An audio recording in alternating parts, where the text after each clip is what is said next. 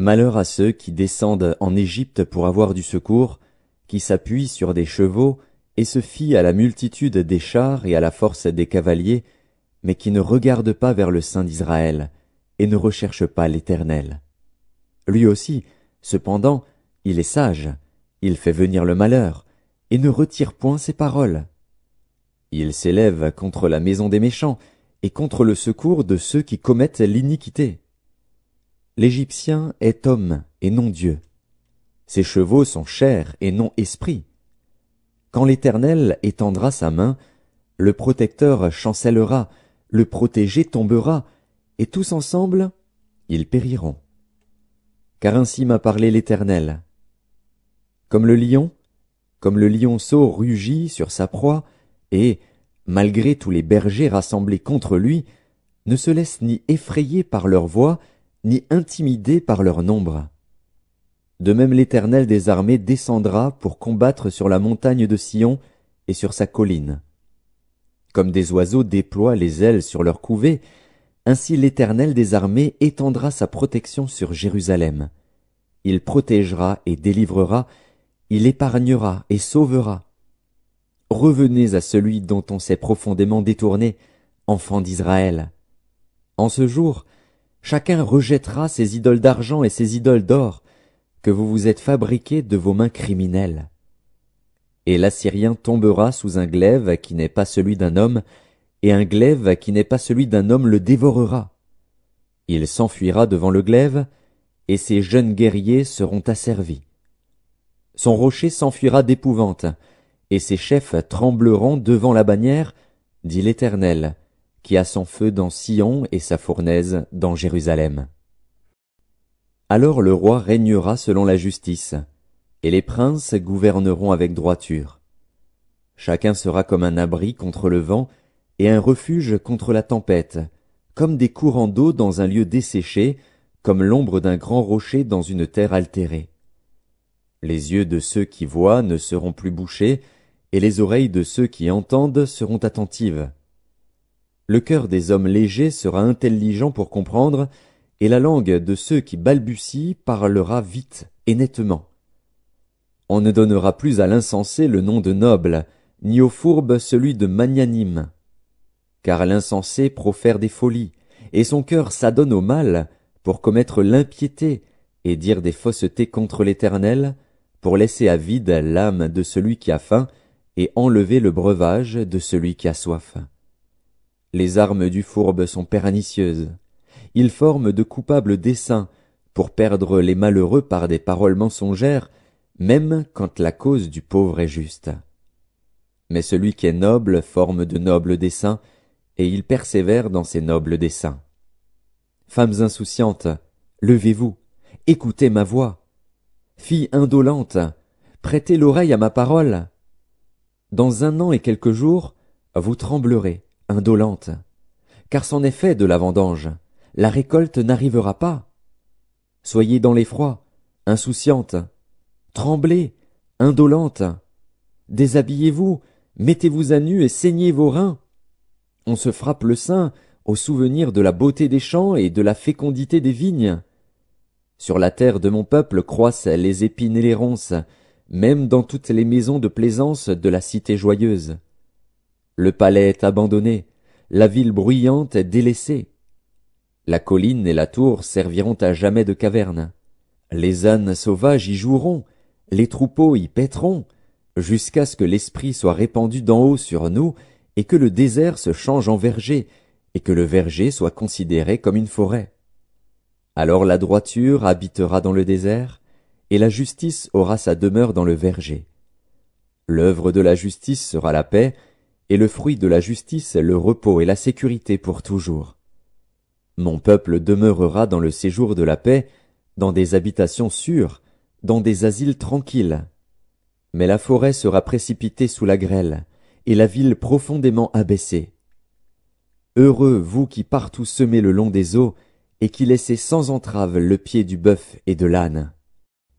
Malheur à toi qui ravage, et qui n'a pas été ravagé, qui pille, et qu'on n'a pas encore pillé. Quand tu auras fini de ravager, tu seras ravagé. Quand tu auras achevé de piller, on te pillera. Éternel, aie pitié de nous. Nous espérons en toi. Sois notre aide chaque matin et notre délivrance au temps de la détresse. Quand ta voix retentit, les peuples fuient. Quand tu te lèves, les nations se dispersent.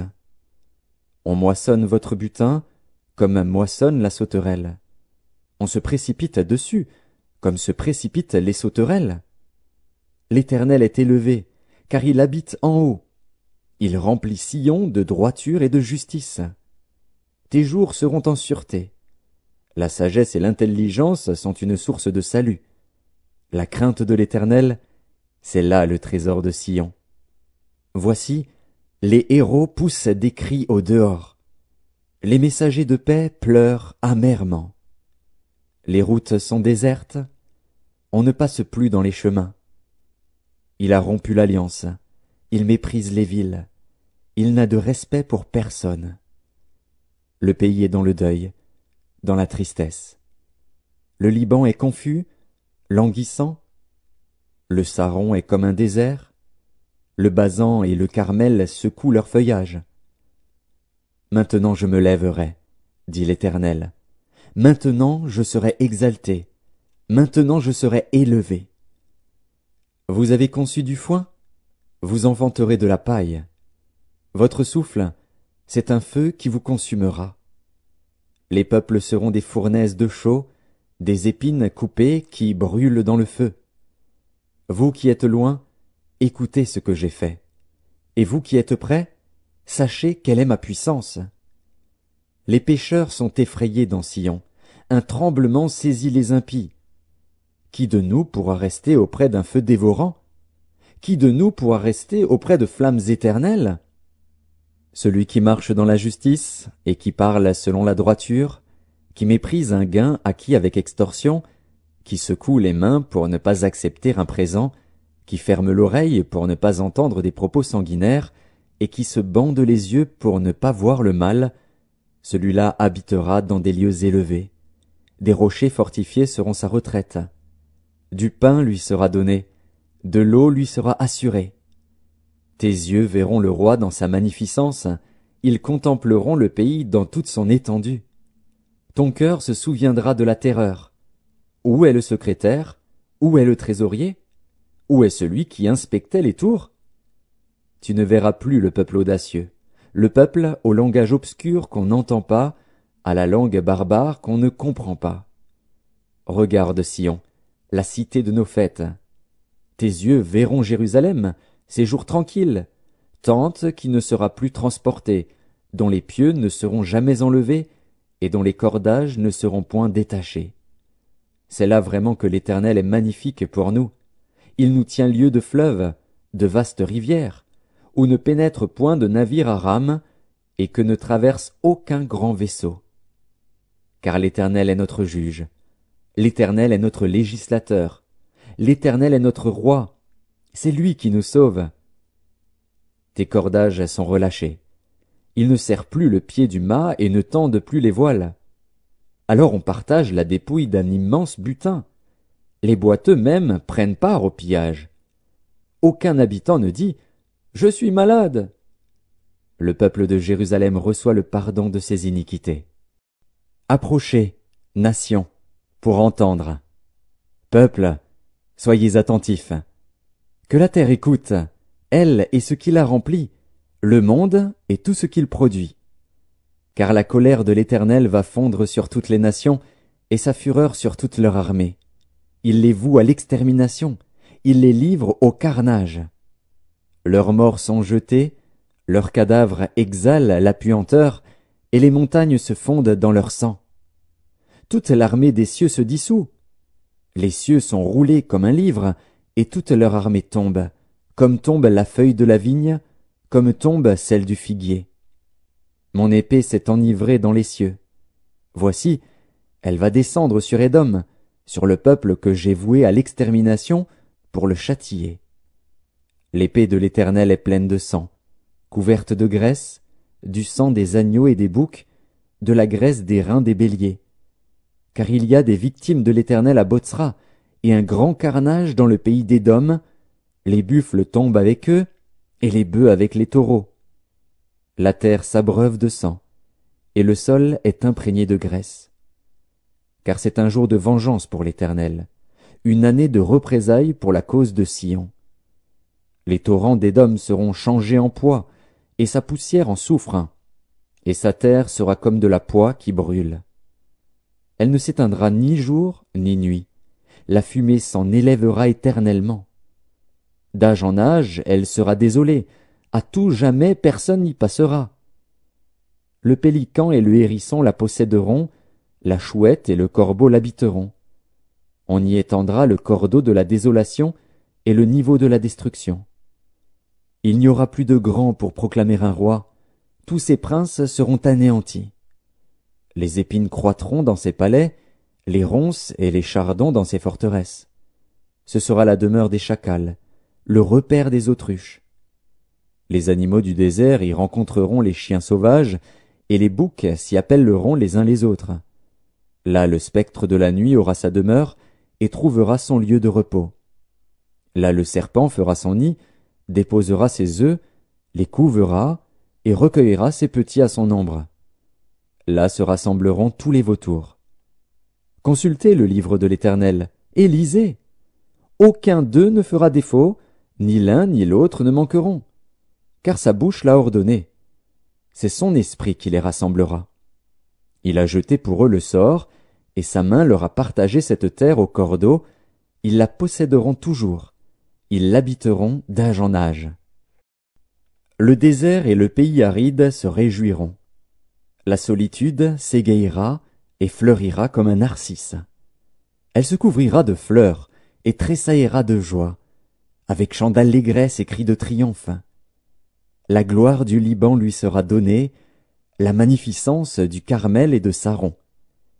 Ils verront la gloire de l'Éternel, la magnificence de notre Dieu. Fortifiez les mains languissantes, et affermissez les genoux qui chancellent. Dites à ceux qui ont le cœur troublé, Prenez courage, ne craignez point. Voici votre Dieu, la vengeance viendra, la rétribution de Dieu. Il viendra lui-même et vous sauvera. Alors s'ouvriront les yeux des aveugles, s'ouvriront les oreilles des sourds. Alors le boiteux sautera comme un cerf, et la langue du muet éclatera de joie. Car des eaux jailliront dans le désert, et des ruisseaux dans la solitude. Le mirage se changera en étang, et la terre desséchée en source d'eau. Dans le repère qui servait de gîte au chacal, croîtront des roseaux et des joncs. Il y aura là un chemin frayé, une route, qu'on appellera la voie sainte. Nul impur n'y passera. Elle sera pour eux seuls. Ceux qui la suivront, même les insensés, ne pourront s'égarer. Sur cette route, point de lion. Nulle bête féroce ne la prendra, nul ne s'y rencontrera les délivrés y marcheront. Les rachetés de l'Éternel retourneront, ils iront à Sion avec chant de triomphe, et une joie éternelle couronnera leur tête. L'allégresse et la joie s'approcheront, la douleur et les gémissements s'enfuiront. La quatorzième année du roi Ézéchias, Sanchérib, roi d'Assyrie, monta contre toutes les villes fortes de Juda et s'en empara. Et le roi d'Assyrie envoya de Lachis à Jérusalem vers le roi Ézéchias, Rapchaké avec une puissante armée. Rapchaké s'arrêta à l'aqueduc de l'étang supérieur, sur le chemin du champ du Foulon. Alors Eliakim, fils de Hilkija, chef de la maison du roi, se rendit auprès de lui, avec Shebna, le secrétaire, et Joach, fils d'Azaph, l'archiviste. Rapchaké leur dit, Dites à Ézéchias, Ainsi parle le grand roi, le roi d'Assyrie. Quelle est cette confiance sur laquelle tu t'appuies? Je te le dis, ce ne sont que des paroles en l'air. Il faut pour la guerre de la prudence et de la force. En qui donc as-tu placé ta confiance pour t'être révolté contre moi? Voici, tu l'as placé dans l'Égypte, tu as pris pour soutien ce roseau cassé, qui pénètre et perce la main de quiconque s'appuie dessus. Tel est Pharaon, roi d'Égypte, pour tous ceux qui se confient en lui.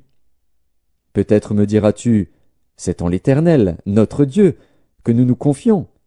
Mais n'est-ce pas lui dont Ézéchias a fait disparaître les hauts lieux et les autels, en disant à Juda et à Jérusalem, Vous vous prosternerez devant cet autel. Maintenant, fais une convention avec mon maître, le roi d'Assyrie, et je te donnerai deux mille chevaux, si tu peux fournir des cavaliers pour les monter. Comment repousserais-tu un seul chef d'entre les moindres serviteurs de mon maître? Tu mets ta confiance dans l'Égypte pour les chars et pour les cavaliers. D'ailleurs, est-ce sans la volonté de l'Éternel que je suis monté contre ce pays pour le détruire?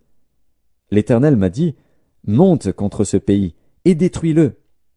Eliakim, Shebna et Joar dirent à Rabshaké, Parle à tes serviteurs en araméen, car nous le comprenons, et ne nous parle pas en langue judaïque aux oreilles du peuple qui est sur la muraille.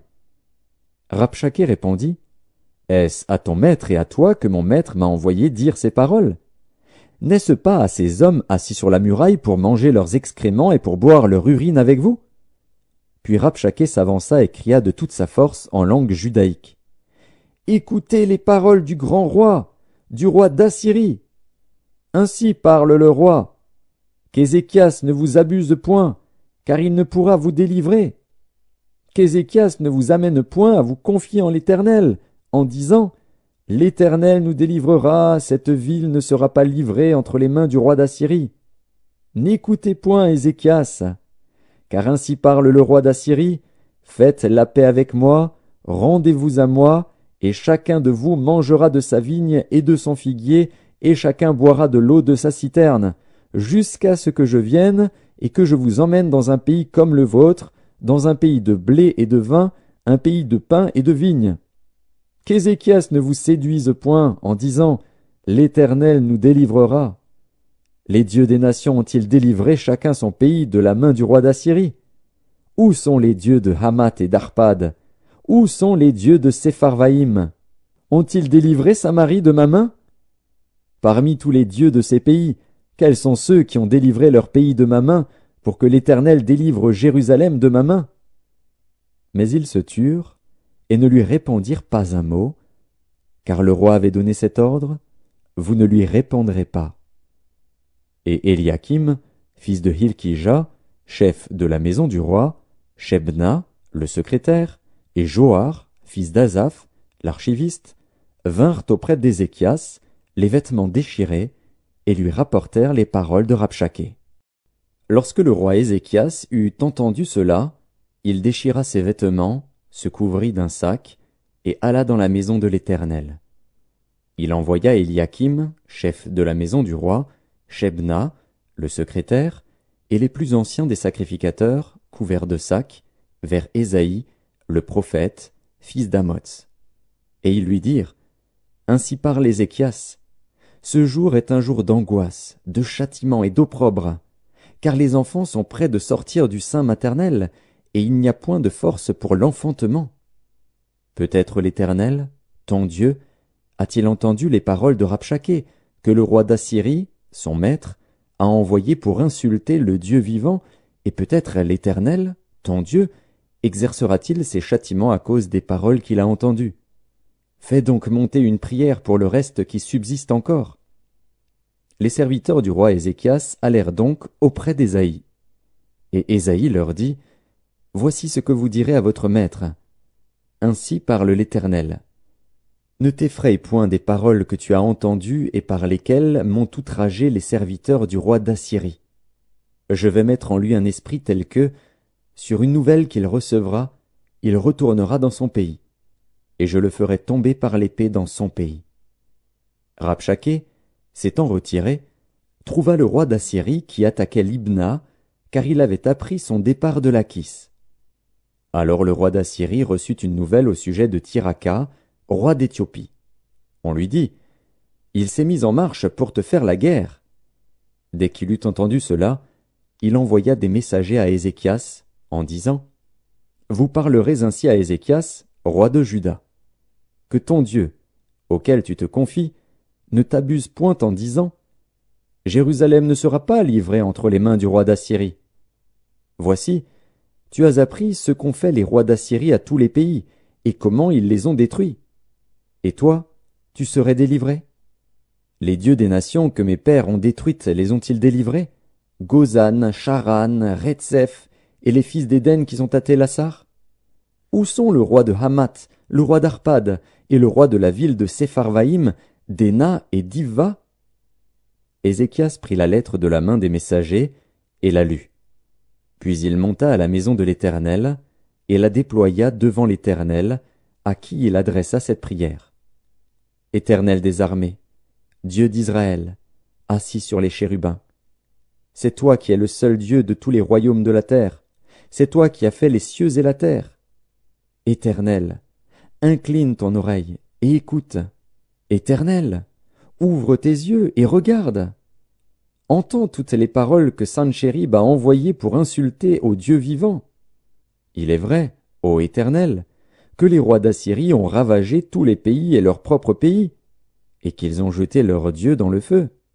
Mais ce n'étaient point des dieux, c'étaient des ouvrages de main d'homme, du bois et de la pierre, et ils les ont anéantis. Maintenant, Éternel, notre Dieu, délivre-nous de la main de Sanchérib, et que tous les royaumes de la terre sachent que toi seul es l'Éternel. Alors Ésaïe, fils d'Amots, envoya dire à Ézéchias, Ainsi parle l'Éternel, le Dieu d'Israël. J'ai entendu la prière que tu m'as adressée au sujet de Sanchérib, roi d'Assyrie. Voici la parole que l'Éternel a prononcée contre lui. Elle te méprise, elle se moque de toi, la Vierge, fille de Sion. Elle hoche la tête après toi, la fille de Jérusalem. Qui as-tu insulté et outragé? Contre qui as-tu élevé la voix? Tu as porté tes yeux en haut sur le sein d'Israël. Par tes serviteurs tu as insulté le Seigneur, et tu as dit, Avec la multitude de mes chars, j'ai gravi le sommet des montagnes, les extrémités du Liban. Je couperai les plus élevés de ses cèdres, les plus beaux de ses cyprès, et j'atteindrai sa dernière cime, sa forêt semblable à un verger. J'ai ouvert des sources, et j'en ai bu les eaux, et je tarirai avec la plante de mes pieds tous les fleuves de l'Égypte. N'as-tu pas appris que j'ai préparé ces choses de loin, et que je les ai résolues dès les temps anciens? Maintenant j'ai permis qu'elles s'accomplissent, et que tu réduises des villes fortes en monceaux de ruines. Leurs habitants sont impuissants, épouvantés et confus. Ils sont comme l'herbe des champs et la tendre verdure, comme le gazon des toits et le blé qui sèche avant la formation de sa tige. Mais je sais quand tu t'assieds, quand tu sors et quand tu entres, et quand tu es furieux contre moi. Parce que tu es furieux contre moi, et que ton arrogance est montée à mes oreilles, je mettrai ma bouche à tes narines et mon mort entre tes lèvres, et je te ferai retourner par le chemin par lequel tu es venu. Que ceci soit un signe pour toi. On a mangé une année le produit du grain tombé, et une seconde année ce qui croît de soi-même, mais la troisième année, vous sèmerez, vous moissonnerez, vous planterez des vignes, et vous en mangerez le fruit. Ce qui aura été sauvé de la maison de Judas, ce qui sera resté poussera encore des racines par-dessous, et portera du fruit par-dessus. Car de Jérusalem il sortira un reste, et de la montagne de Sion des réchappés. Voilà ce que fera le zèle de l'Éternel des armées. C'est pourquoi ainsi parle l'Éternel sur le roi d'Assyrie.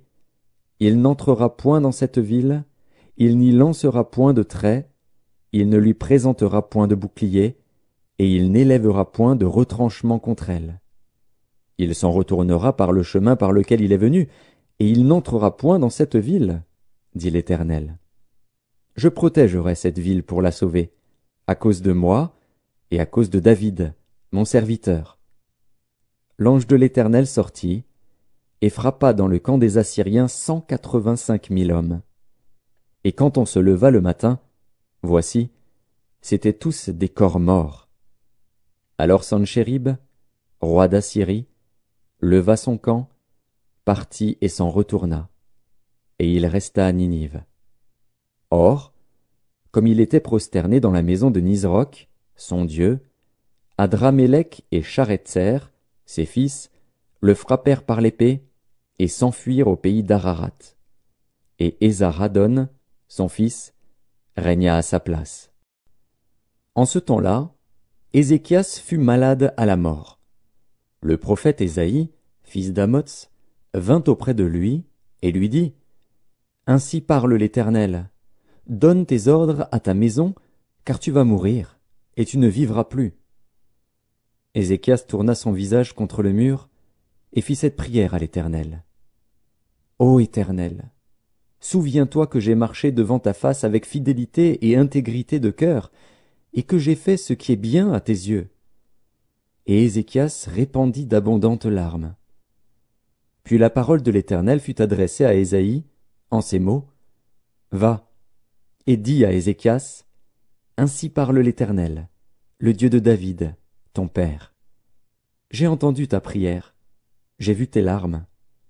Voici, j'ajouterai à tes jours quinze années.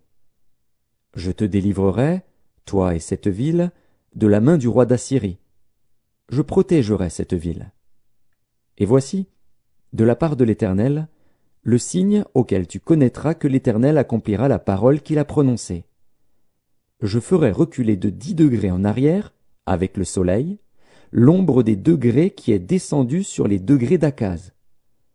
Et le soleil recula de dix degrés sur les degrés où il était descendu. Cantique d'Ézéchias, roi de Juda, sur sa maladie et sur son rétablissement. Je disais, Quand mes jours sont en repos, je dois m'en aller aux portes du séjour des morts. Je suis privé du reste de mes années. Je disais, Je ne verrai plus l'Éternel, l'Éternel sur la terre des vivants. Je ne verrai plus aucun homme parmi les habitants du monde. Ma demeure est enlevée et transportée loin de moi, comme une tente de berger. Je sens le fil de ma vie coupé comme par un tisserand qui me retrancherait de sa trame. Du jour à la nuit tu m'auras achevé. Je me suis contenu jusqu'au matin. Comme un lion, il brisait tous mes os. Du jour à la nuit tu m'auras achevé. Je poussais des cris comme une hirondelle en voltigeant, je gémissais comme la colombe. Mes yeux s'élevaient languissants vers le ciel. Ô Éternel, je suis dans l'angoisse. Secours-moi. Que dirais-je? Il m'a répondu, et il m'a exaucé. Je marcherai humblement jusqu'au terme de mes années, après avoir été ainsi affligé. Seigneur, c'est par tes bontés qu'on jouit de la vie, c'est par elles que je respire encore. Tu me rétablis, tu me rends à la vie. Voici, mes souffrances mêmes sont devenues mon salut. Tu as pris plaisir à retirer mon âme de la fosse du néant, car tu as jeté derrière toi tous mes péchés. Ce n'est pas le séjour des morts qui te loue, ce n'est pas la mort qui te célèbre. Ceux qui sont descendus dans la fosse n'espèrent plus en ta fidélité. Le vivant, le vivant, c'est celui-là qui te loue, comme moi aujourd'hui. Le Père fait connaître à ses enfants ta fidélité. L'Éternel m'a sauvé nous ferons résonner les cordes de nos instruments tous les jours de notre vie, dans la maison de l'Éternel. Ésaïe avait dit qu'on apporte une masse de figues et qu'on les étende sur l'ulcère, et Ézéchias vivra.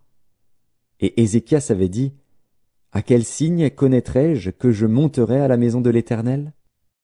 En ce même temps, Mérodac Baladan, fils de Baladan, roi de Babylone, envoya une lettre et un présent à Ézéchias, parce qu'il avait appris sa maladie et son rétablissement.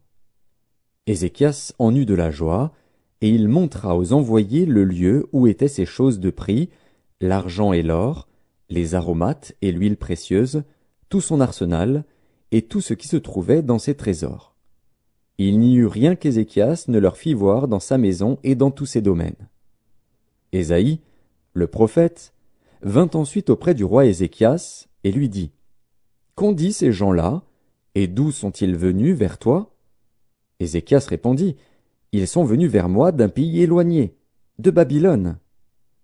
Ésaïe dit encore, Qu'ont-ils vu dans ta maison? Ézéchias répondit, Ils ont vu tout ce qui est dans ma maison, il n'y a rien dans mes trésors que je ne leur ai fait voir. Alors Ésaïe dit à Ézéchias, Écoute la parole de l'Éternel des armées. Voici, les temps viendront où l'on emportera à Babylone tout ce qui est dans ta maison et ce que tes pères ont amassé jusqu'à ce jour. Il n'en restera rien, dit l'Éternel. Et l'on prendra de tes fils, qui seront sortis de toi, que tu auras engendrés pour en faire des eunuques dans le palais du roi de Babylone. Ézéchias répondit à Ésaïe, La parole de l'Éternel que tu as prononcée est bonne. Car, ajouta-t-il, il y aura paix et sécurité pendant ma vie. Consolez, consolez mon peuple, dit votre Dieu. Parlez au cœur de Jérusalem, et criez-lui que sa servitude est finie, que son iniquité est expiée, qu'elle a reçu de la main de l'Éternel au double de tous ses péchés. Une voix crie, Préparez au désert le chemin de l'Éternel, aplanissez dans les lieux arides une route pour notre Dieu. Que toute vallée soit exaucée, que toute montagne et toute colline soient abaissées, que les coteaux se changent en plaine, et les défilés étroits en vallons. Alors la gloire de l'Éternel sera révélée, et au même instant toute chair la verra, car la bouche de l'Éternel a parlé. Une voix dit, Crie. Et il répond, Que crierai-je? Toute chair est comme l'herbe, et tout son éclat comme la fleur des champs. L'herbe sèche, la fleur tombe, quand le vent de l'Éternel souffle dessus. Certainement le peuple est comme l'herbe. L'herbe sèche, la fleur tombe, mais la parole de notre Dieu subsiste éternellement. Monte sur une haute montagne, Sion, pour publier la bonne nouvelle. Élève avec force ta voix, Jérusalem, pour publier la bonne nouvelle. Élève ta voix, ne crains point. Dis aux villes de Juda, Voici votre Dieu. Voici le Seigneur, l'Éternel vient avec puissance, et de son bras il commande. Voici, le salaire est avec lui, et les rétributions le précèdent. Comme un berger, il paîtra son troupeau, il prendra les agneaux dans ses bras, et les portera dans son sein. Il conduira les brebis qui allaitent. Qui a mesuré les eaux dans le creux de sa main, pris les dimensions des cieux avec la paume, et ramassé la poussière de la terre dans un tiers de mesure? Qui a pesé les montagnes au crochet et les collines à la balance? Qui a sondé l'Esprit de l'Éternel, et qui l'a éclairé de ses conseils? Avec qui a-t-il délibéré pour en recevoir de l'instruction? Qui lui a appris le sentier de la justice? Qui lui a enseigné la sagesse et fait connaître le chemin de l'intelligence?